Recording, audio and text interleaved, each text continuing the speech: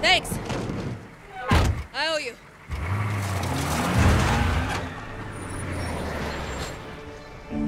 How will you choose a place to call home?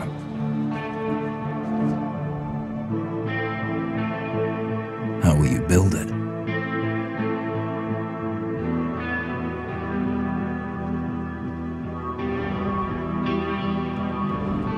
Work together to defend it. From the terror just outside the walls.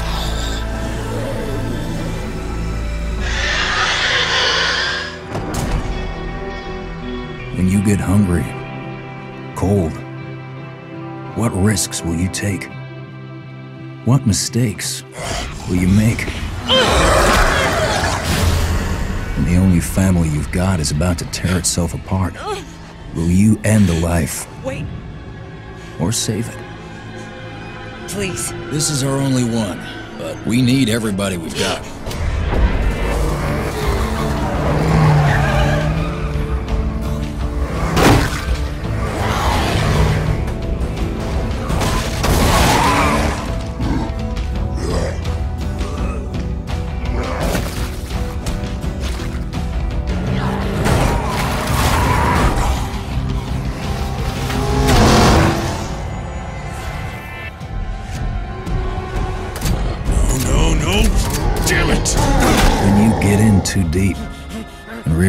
No one gets a second chance.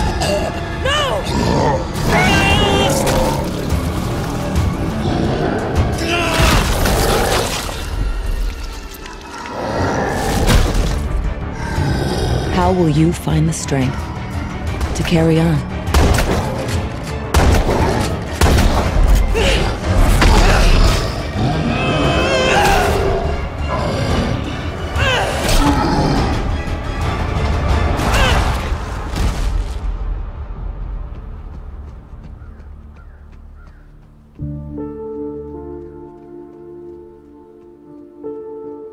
In this world of the living and the dead,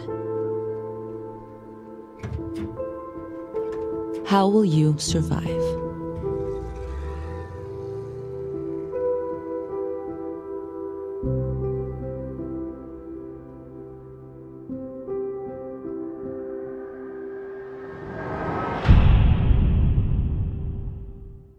Just, that just you know it's just uh, that can happen or not. It just depends on, on when you're playing the game. Interesting. And this time Deacon saw the ambush and he was able to avoid it. So he kind of comes up and around and behind them. So does weather impacts whether these creatures show up or not in daytime, nighttime, all that stuff? Yeah, absolutely. So especially the freakers, they come out.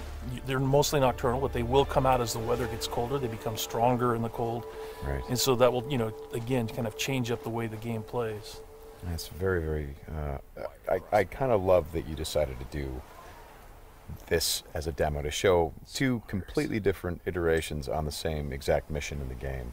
Yes, exactly. So we wanted to have, uh, you know, this. The job is basically the same. Deacon hears that his buddy's in trouble, rides out to save his life, and you know, as you can see here, this is a completely different experience from what we showed in the first demo. In the first one, Deacon gets clotheslined, um, and it sounded very painful, by the way. when he did Oh, that. like, speaking of painful, um, okay, so the combat in this game is fairly brutal.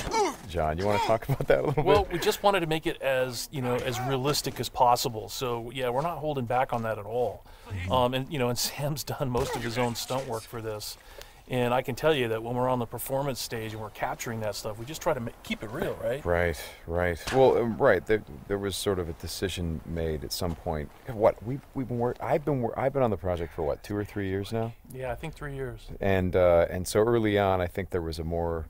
What were we? It, uh, it was more Kurt Russell and sort of a two-fisted thing, and, and then it, it turned into, hey, let's take Yeah. this quite seriously. And what that required is a lot more taking this combat stuff um, and, and showing the horror of the violence that happens and, in, in it were this type of circumstance to take place. I mean, realism, weirdly enough, is the thing we keep going back to when it comes to the not just the stunts but also the performance style. I think you know it was very important that it doesn't seem like a bunch of actors, uh, you know, saying lines. It was Yeah. all very incidental. and we want you know we wanted the world to sort of reflect that as well. So Yeah. you saw there that you know, Deacon broke into that emergency vehicle What's and this? found some supplies. So this is what we're calling our survival vision. Survival so you saw vision. that earlier when he was looking at Manny's bike on the ground. Mm-hmm. Um, and it's just kind of a way of, of seeing tracks in the world and sort of imagining what might have happened. Mm-hmm. And here, I, I just wanted to point out that you're seeing in this part of the demo that there are freakers there. There weren't there before because Yeah. it wasn't snowing. It was, you know, and it was getting lighter out. It wasn't getting darker like it is. And so, um, you know, it changes up the way you can play through the level. And what is this? What is So we call this the meat wall. the meat wall? Yeah, and it's not just there, you know, to you know make the guys who put them up to, to seem evil. They're there for a purpose because again, freakers are living creatures. They eat. That's their primary. That's their primary thing. They want to eat, and so you hang these dead freakers up, uh, and it, you know, and anybody, any Hey guys, this is Dan Hay. I'm the executive producer on Far Cry and the creative director on Far Cry 5. Today, we want to show you the world of Far Cry 5 and introduce you to the little town of Falls End, which has been overrun by a fanatic cult. In Far Cry 5, we want to give you an entire for hire system guns for hire, fangs for hire, and friends for hire. Meet Boomer and Grace. Boomer's your dog, perfect to run out into the world and tag enemies, and Grace, We got piggies. She's the quiet sniper. Cult at Eden's Gate has basically taken over all of Falls End, and you and your guns for hire have to take it back.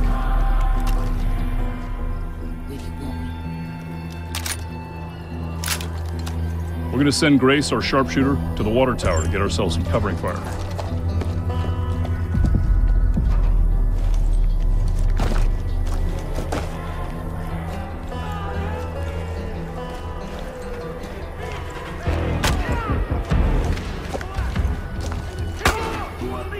You see here the last remnants of a resistance that tried to fight the cult. I'm in position. Out there in the bushes is Boomer. He's ready to go. And up above, Nick. Perfect death from above. Now, it's time to call on Grace to do what she does. Boom, boom, motherfuckers. Boom, boom, boom, boom. Bang, bang, bang,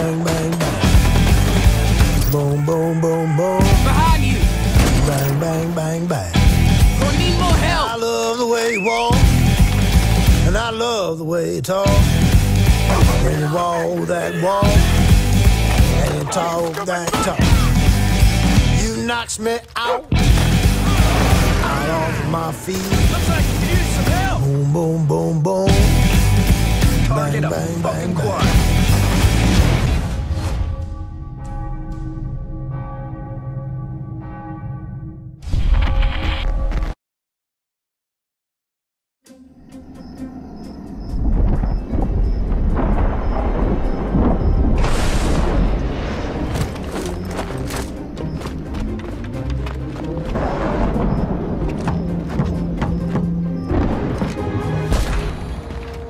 All right, people. Let's search this dump and get out of here ASAP. Dump? What's wrong with the Durrr Burger? Yeah, it's got everything. Garbage, rats, severe structural damage. Some people just can't appreciate fine dining.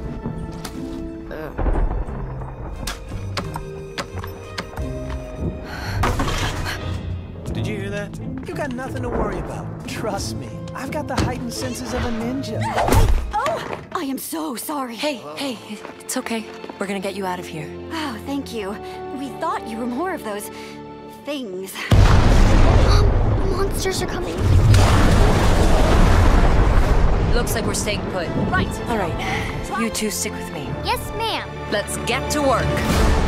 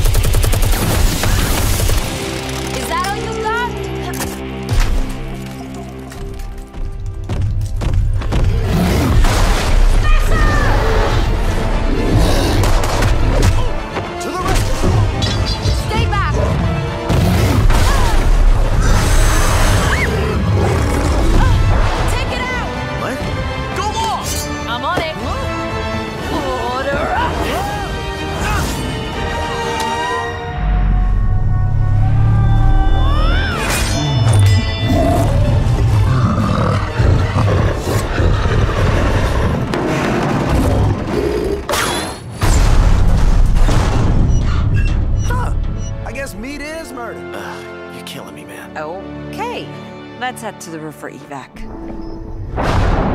Aside from the part where we almost died, that was amazing. Hey, don't mention it. It's all in a night's work.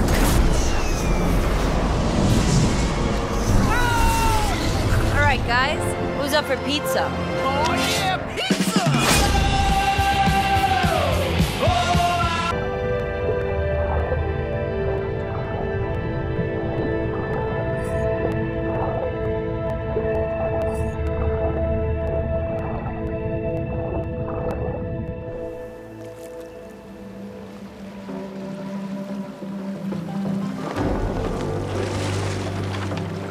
Need is great.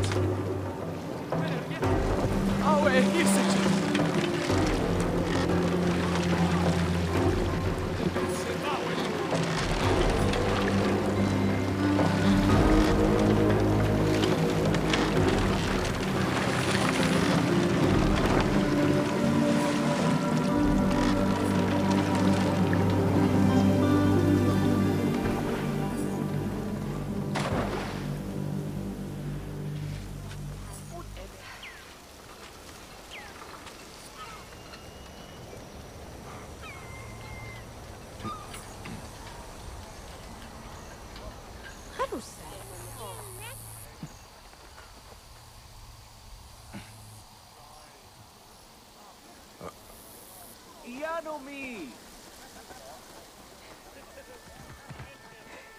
Yohi, Meriet, Baki.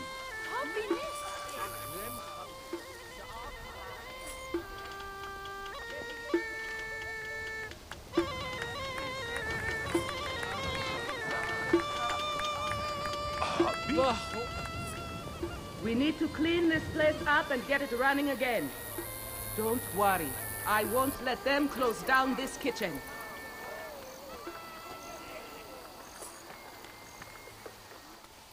zit in?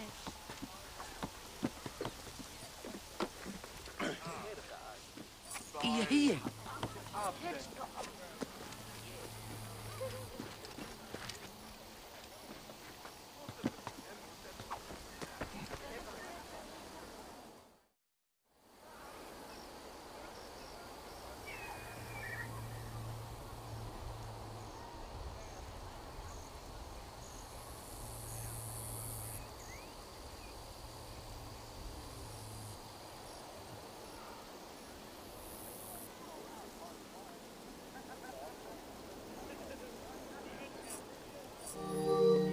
Thank you, Shadia.